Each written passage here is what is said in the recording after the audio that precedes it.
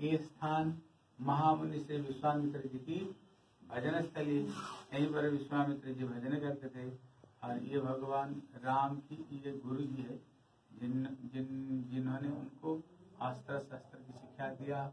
और श्री विश्वामित्र जी के साथ में अभी हम जाएँगे गंगा घाट है जहाँ पर श्री विश्वामित्र जी के साथ में गंगा पार, भगवान गंगा पार हुए थे। ये पास में ही अहल्या की भगवान जहाँ पर अहल्या जी को उद्धार किया।